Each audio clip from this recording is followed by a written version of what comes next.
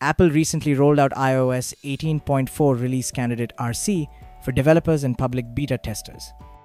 Alongside iOS, they also released iPadOS 18.4, watchOS 11.4, macOS 15.4, and updates for TelevisionOS, HomePod 18.4, and VisionOS 2.4.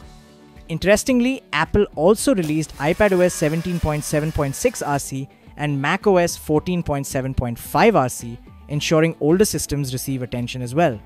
For the first time, Apple is explicitly labeling the update as Release Candidate directly on the software update screen, making it easier for users to recognize the final test version before public release. The update size is substantial at 7.65 gigabytes, largely due to the transition from beta to the final version. The build number for iOS 18.4 RC is 22E239, which is expected to remain unchanged in the public release.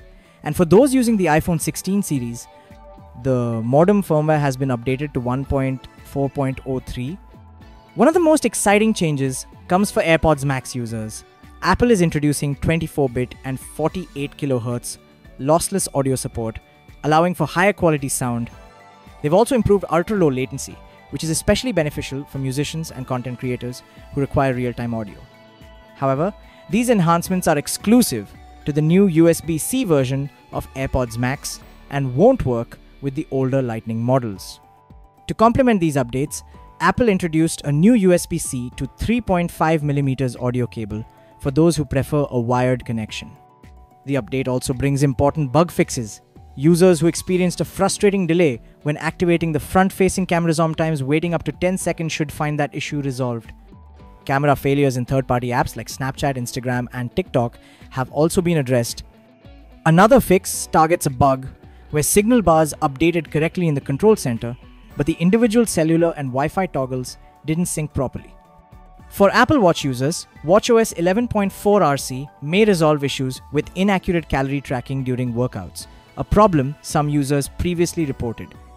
Apple has removed the backtap banner, which used to appear when using backtap gestures.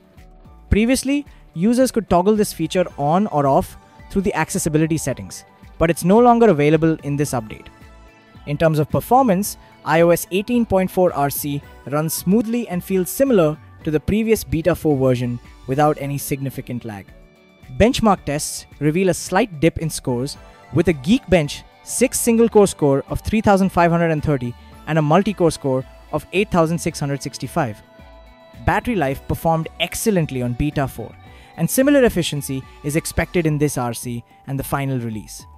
The official release of iOS 18.4 is expected in early April, possibly between the 1st of April and 4. This timeline aligns with Apple's confirmation that the update will arrive in April, although it's unusual since major software releases typically occur on Mondays. There is also a chance Apple might release a second RC if further refinements are necessary.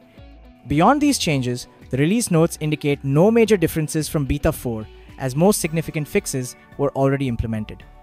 Overall, iOS 18.4 RC is a stable update focused on fine tuning and fixing minor bugs.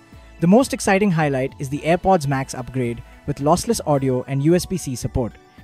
With the final public release just around the corner, Apple continues to refine the user experience while preparing for the next wave of innovations at WWDC. If you found this update helpful, don't forget to like, subscribe, and turn on notifications so you never miss the latest Apple news. Let us know in the comments which iOS 18.4 feature you're most excited about. See you in the next video.